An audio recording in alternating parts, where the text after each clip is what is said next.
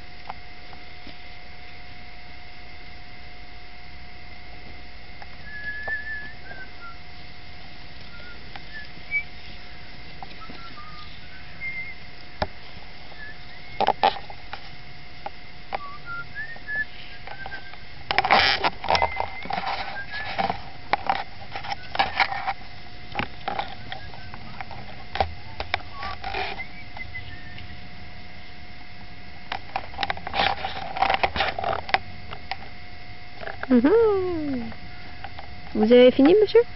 C'est bon.